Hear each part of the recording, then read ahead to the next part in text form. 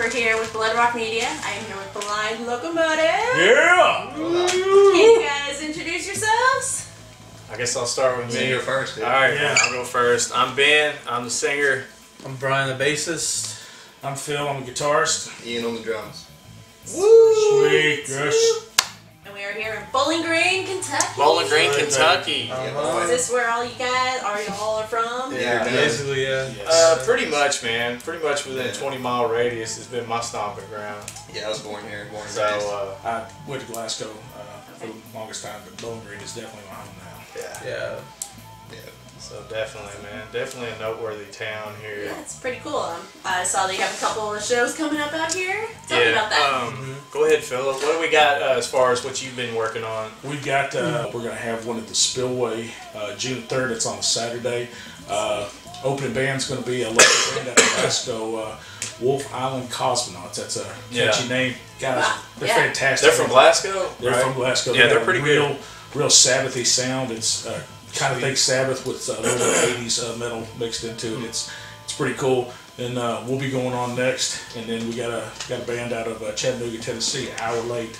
Uh, they're actually pretty pretty big, but uh, they uh, they're gonna come play for us. And And their family. that's Yeah. right. Yeah, my Yeah. uncle was a bassist. I never knew this all what's up, along. dude? This Yeah. is and this is the first time I've heard any of this, and I've been with you guys for about six months now. So, and I've never heard anything about this. So, I was uh, wondering how you guys, you know, how they were they were gonna play with us and stuff. I didn't know the connection there. How you even knew them when I saw that they were in Chattanooga. I, I didn't even know how anybody We've here. been- yeah, I talked to him on and off. Right. I didn't know really- how you. I didn't know how you put that together. Nothing but, ever and materialized. he's like, yeah, man, my you know my uncle plays in that band and stuff, but they're really good, and I mean they're doing Yeah. really well, and, and I think they're going on a tour as well, so they're passing through here, so it just mm-hmm. happens to be the the right time, you know, for them to play with us. So Yeah. Spillway, The June one that third, you uh, the one that you got us down there. and then uh, we're playing at uh, the Hump Fest. It is um, it is in Russellville, Kentucky. Um, let's see, it is Sunday. June. It's June. It's on a Sunday, and it is 25th, June twenty fifth Right. and we'll be playing there uh, 2 p.m. And they'll actually have a good lineup too, and the uh, proceeds go to uh, homeless veterans um, for that for that uh, festival and everything. So we're excited about that. Well, we're uh, going to be going into the studio here uh, pretty soon to record with uh, David Barrick. Yeah. Uh, David Barrick is like the master recording The guy. guru, uh, The guy around Yeah. here. Local Yes, guy, he's yeah. out of Glasgow. and He's he's kind of hard to get a hold of, but finally Yeah. got a hold of him. So we're going to go in the studio for two days and uh, try to lay down a five six track E EP. These guys have been playing this music together as an instrumental band. Uh, three piece for probably I know he's been with them probably a year and a half now. then Um, three and then him. Yeah, since like December Yeah. 2015. So they've yeah And they've been together for like. them two been jamming for about yeah years, coming up on a decade. So they Since they've been was in diapers. Yeah. so- Yeah, so these these songs, yeah, these songs have like deep roots, and they've been piecing them together and, and playing them and putting them together and jamming on them weekly for almost a decade. And then he came in a year and a half ago uh, to to create a three piece, and they and he's been right they've had a lot of time to get this music really tight and, and to really shape these songs. And then I came along. Uh, about six months ago, and just you know, they had 15 songs ready to go, and I just started writing on them and just you know, working because I mean, I came in and was just kind of, you know, pretty washed up. I hadn't done anything in probably about two years, and uh, just, you know, I hadn't done anything with music. And then, you know, I just decided to, to start looking into it and seeing what I could find. And then, you know, bam, I found these guys and and got with them and everything, and it just took off really quick and everything. And I think that's just because of the musicianship with all of them in the band. Um, they're really polished, really well, and I came in and I just really was blown away at how how good these guys sounded and how tight they were, and it just really elevated me and made me work that much harder at trying to develop some some vocal stuff that, that I hadn't done before, and it made me really get on the, the pen and paper and start writing and just just pushing through, you know. And so uh, it's it's coming together really quick and, and everything. So you know, I'm, I'm really happy with it and, and where we're at with it, and where the music's going. I know they've already had these songs put together, so what'll really be interesting to see is is, uh, is once we start writing new stuff together and seeing how where it goes. I feel like the music that we're putting together as a whole, it's different. It stands out on its own. I don't want to sound like everybody else. You know, Yeah. I don't want to sound like Metallica. I don't want to sound like you know bands are already out there. It's it's rock and roll, but it's got a different feel to it. It's got the blues edge to it. It's got the funk edge to it. Well, it does definitely have like it's, it's like transcending through like the '70s up to the '80s into now. It's it definitely has it definitely has that that feel with a lot of funk and bits and pieces from things that each one of them have uh, have taken from from their generation or whatever. Then it's all infused in this music.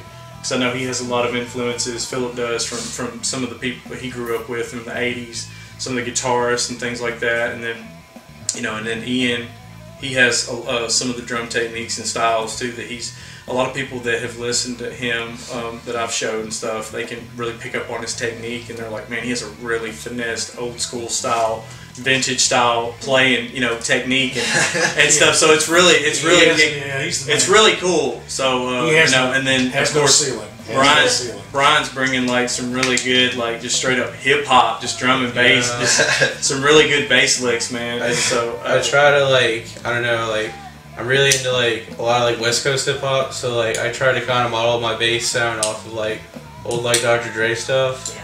I know it's not like super conventional, but I just like that really like deep, fat kind of bass sound that you get off of that.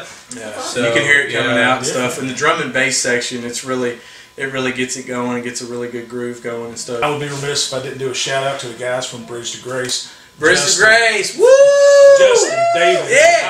Alex, Christian. Thank you guys so much for your professionalism and being open about showing somebody that needs some uh, needed some direction. You guys showed us how Yeah. to do things the Yes, right way. yeah. It was super cool playing with you guys. Yeah, exactly. Thank- Really was. Really great guys, David Garcia, everybody. Thanks for thanks for helping us along and just kind of uh, being really good We to will us. see y'all again. Yeah, Yeah. Are there any specific bands that you guys would like to tour with one day? Oh, dude. Um, I- I mean like Black Stone Cherry, Yeah, that would be Clutch. cool. That would be. Uh, Yeah. Those two would be. That'd be I feel like we identify with Clutch, out you know, Aren't they more than from anybody. here? they're from Baltimore, Maryland. Yeah, Maryland. So, yeah, I know he loves Clutch. Clutch favorite band, probably Clutch. Yeah, probably. Philip- Have to go with that. Philip, what you got? I, dude, I, I tell you, who I'd really like to play with is uh, Jake Lee and the Dra- Red Dragon Cartel. Man, that would Yeah. be that would be slick. I'd pull that. I, it basically it really doesn't matter. We're we're we're willing to go be road dogs, just wherever it takes. I guess part about compatibility too. You know, I mean, in some some way or another, you have to kind of be compatible in some way. You know, it doesn't have to be spot on with another band, but it does need to be kind of in line with that. Who would you say is a good band to influence you, like when you're writing music? Well, I could get the same answer. Yeah. Same Same answer. thing? Clutch, yeah. Uh, for me, though, it's it's I, I go back to the roots. Uh, I know for myself, growing up uh, playing guitar, believe it or not, Judas Priest was was one of my huge influences.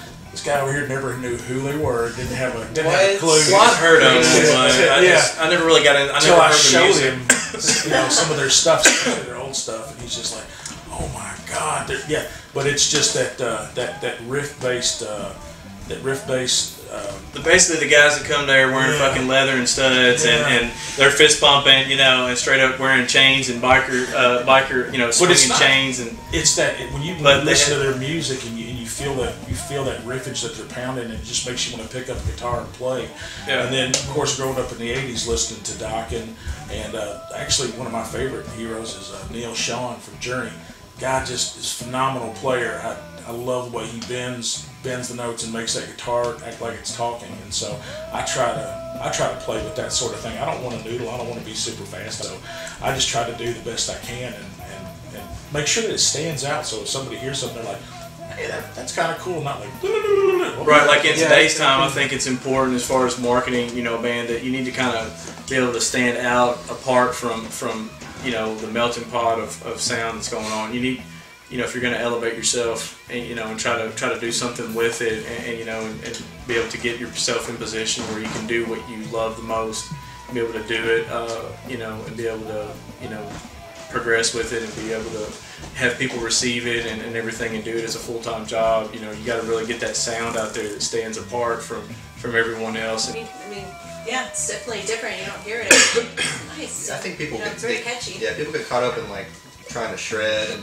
all these effects on their instruments that musicianship kind of dies in the process, and Absolutely. just kind of trying to bring it back a little bit. You know, just Yeah. Absolutely, So- The more different you It's like a- are, the easier it is to stand out. Yeah, I, I like that too because it's like a lost art, you know, of just of just getting down to it. You know, like Yeah. our music's not it's not layered with any, you know, it's just raw.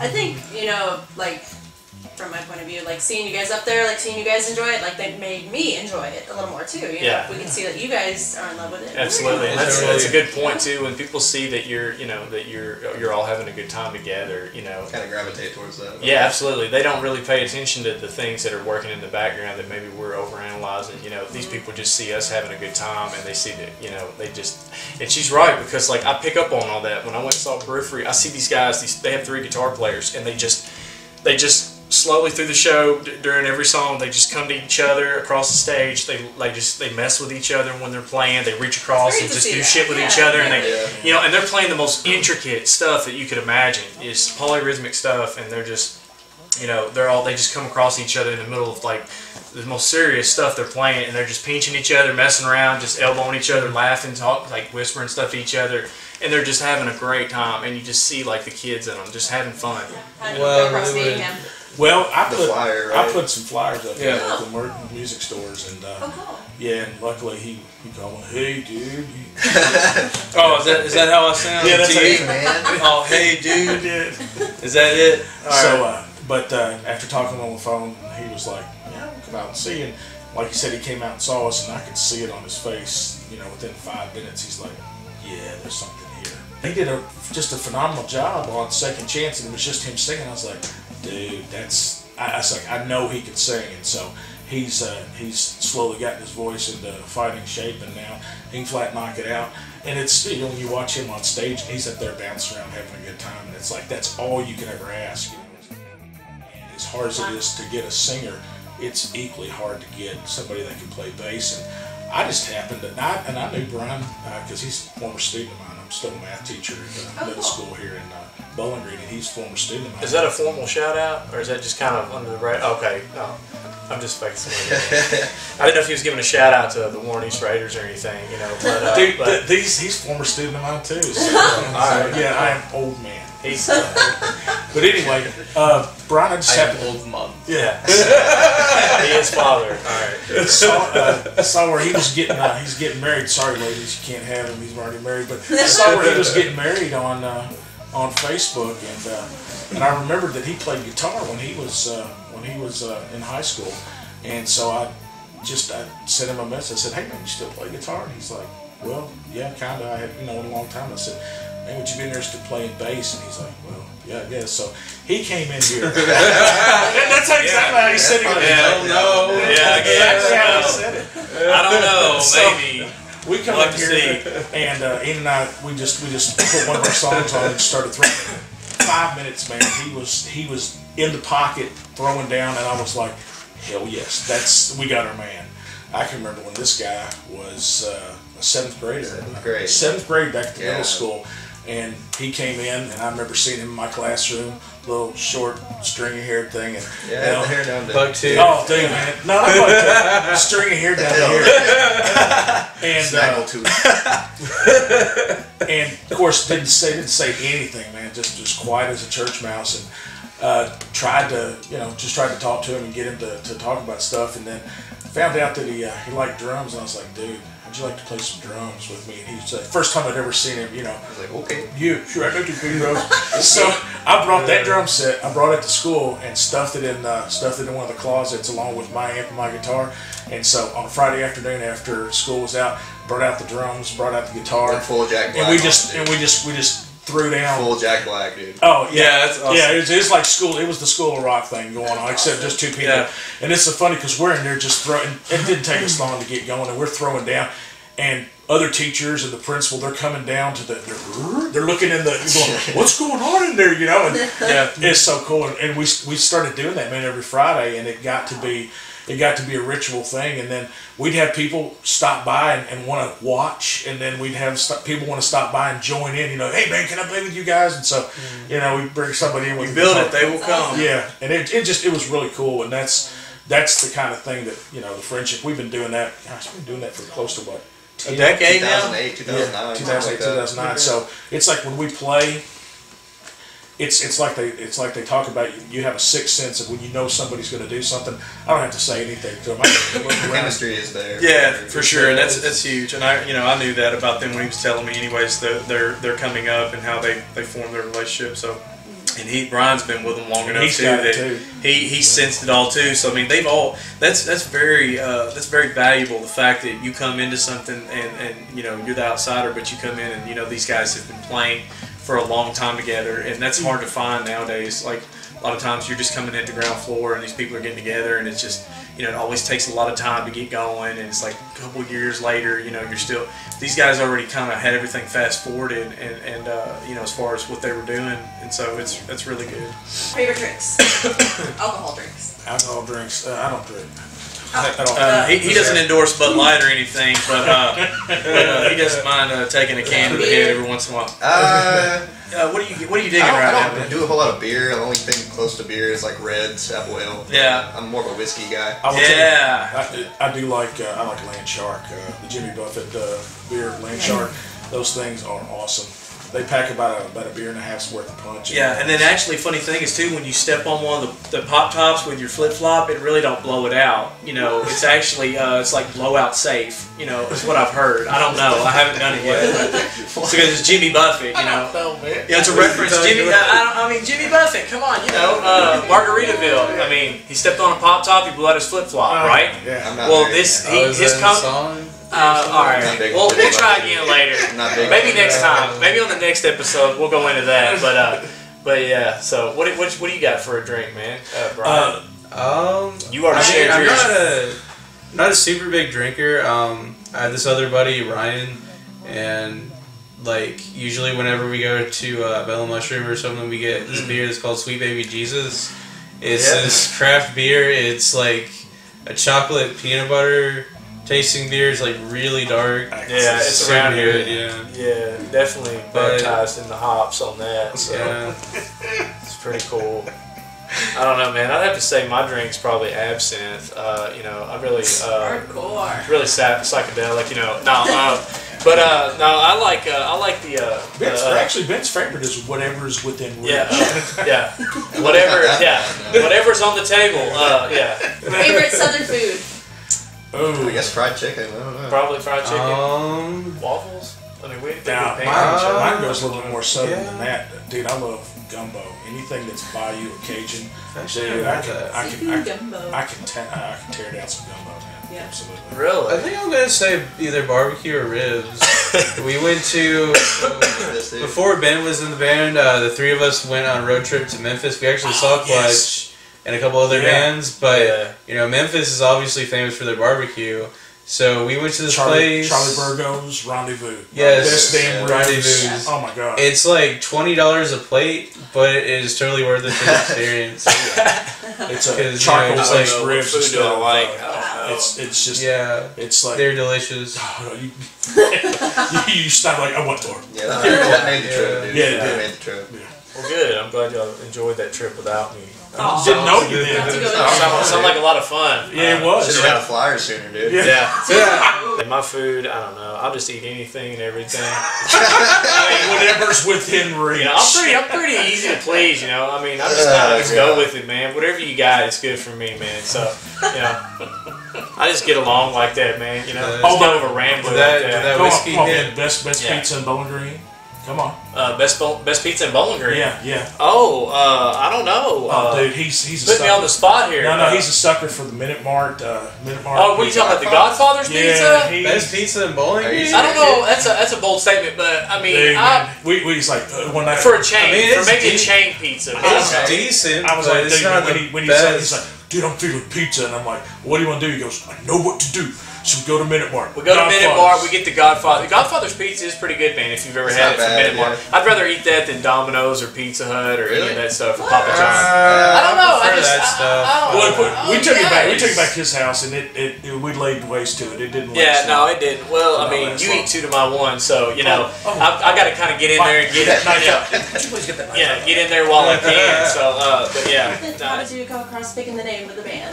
Well, Oh, okay. It's a We- tedious process. We had like Cool. a list of like what like 50 names or something. We basically just sat down and kind of like debated, you know, different names. We actually said blind dog locomotive originally. it was But a, then I was like, why don't we just take the dog out? It's it was blind, more. Lo- blind locomotive. I know for me, when I was trying to come up with the names, I was just trying to put together anything that didn't sound associated with one another. Just something that was just completely different. Just Yeah. because I, I don't want to be known as the, the blah blahs. You know, you want that name to kind of stand out, and I really feel like it does. Uh, our logo, uh, I've got a friend of mine named Nick Jones, Nick, and he uh, Nick Jones. man, he's done a fantastic job with our logo. Uh, he's captured the spirit of what uh, what we wanted to have. It's like when we play, we want to feel kind of unbridled. We want to kind of kick you in the face, and you go, "Shh, what was that?" You know. And so that's kind of the, the, the behind the name. It feels like our music's just trailing right along, getting ready to run off the tracks. And Feels like the Right, I mean, time. It's like, it's like a, really the force of a train, but it's like, you know, unpredictable. Yeah. Blind locomotive. Yeah, we really analyzed it too like that. We broke it down and kind of were sitting there and it was like, you know, we really need to delve into this and kind of like analyze it. Like we don't, we want something that's going to be a good marketing brand, but also something that rings true for like our music and, and everything. Yeah, it's pretty. And it's like I, I want to say something. Uh, Tommy Starr, uh, D93 Yes, FM. Thank big- you, Tommy, uh, so much for that. Tommy interview you Starr. And uh, we will Thanks, be- bud. We'll be getting back with you uh, on the air again. when we get our David Barry produced EP, That's right. Then we will give it to you personally, and you can share it. And then uh, also Jennifer will get it. Uh, she's going to be one of the first ones on the list too, because we really got to give her a shout out at Bloodrock Absolutely. Media. Uh, Yes. and for Thank Jennifer you so picking much for her- coming coming, here. Yeah, coming out to interview us, coming a long way to uh, just to come down and talk with us and hang out and everything. So she's doing a lot of good work and Got uh, free pie. yeah, and we got yeah. Uh, the band Mother has uh, produced a uh, wonderful Ed- uh, LA bring it cake. Closer. Yeah, oh, uh, let me bring it in. Show it up. Yeah, we'll bring it in in here. Uh, Drop it. this looks like a fifth grade science project. You know, I'm waiting for the, the lava to erupt, but That's still Not like a science. cake. yeah, but uh, but this is a cake. I don't know. This is It's uh, called an LA one cake. it kind of. Oh, Yeah. sweet. Yeah. I've never had one of those. Whoa! He's never had No, that. I've, like I've always heard about those. Yeah, it looks pretty good. So It's the um, bomb. Yeah, it is uh, yeah, so Ask him. I'm he knows. excited He now. knows. definitely to uh, break some bread here after a while. Uh, one more. I've got one more person I need to thank. Okay. Ricky Right, so Hodge. Ricky Hodge, yeah, Ricky Hodge. Thank exact. you so much for all your help uh, See, if the, I wouldn't uh, have helped you on with the that, Spillway gig. Yeah, if I wouldn't have helped you catch Appreciate that, it, then man. you would have gave the wrong guy the shout out, That- and that then you would have gave like, the credit to the the hell? What is guy. he doing? What did I do? Ricky I Hodge, need yeah. another one. Sorry. Ricky Hodge led us to another guy that led us to a guy that got us in, got us some FaceTime with David Barrett. And that's who we've been really wanting to seek out to get our first EP recorded. Uh, we've heard he's done a lot of great things uh, with a lot of bands uh, that are in the big time and then some of the bands that are just coming up. So he's done a lot of great work, and so we thank him for that. Shout out to Kim, his wife, for Yeah. being awesome. Yes. Driving me to Clarksville because I just don't have gas money. Yeah. Making the cake. for uh, yeah, uh, yeah, for providing the, the man cave essentials here. Uh, you know, so it being cool. Uh, definitely uh, providing uh, some some uh, munchies and stuff like that, and definitely keeping the beer stocked in the refrigerator. All these things. Someone's got to do the hard well, something's got to fuel the creativity here. You know, we might as well have gotta do the cake and work. beer and, and things of that nature. Uh, so yeah, for sure. You guys want to say anything good. to the fans out there? Hey, just Um, we've got some. Hey, Lo. Hey, shit. Uh, let me say something. keep real watching. quick. Uh, keep watching our Facebook page. Uh, we'll have everything on there about all the shows that's coming up. Uh, Uh, definitely mark your calendars for June third, Saturday at the Spillway. Uh, want to be there for that. Um, Humpfest. Hunt Fest June 25th down in uh, Russellville. Hunt Uh, Fest, bring your We'll have a we'll have a date in May pretty soon at the uh, at Tidball's. Just keep your eyes peeled for that. All you gotta do is check the Facebook page. Uh, you know, uh, I got to give my wife a shout out. Kat, I love you. You've always supported me with my music, so I got to give you that and everything. So Shout out to my wife Sierra. yeah, come on, man. You don't want to end up in the doghouse tonight. No man, we don't have to have too many shout outs.